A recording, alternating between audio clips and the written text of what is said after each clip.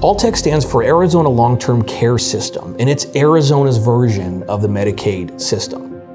It helps folks who can't afford themselves to pay for their long-term care needs, including assisted living, nursing home, round-the-clock care, and even memory care.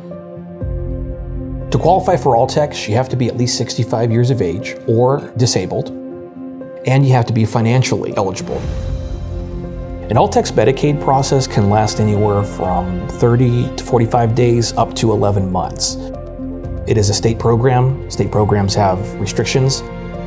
You have delays in caseworkers. That's where we come in. We create a strategy for every family, and it's unique for every family.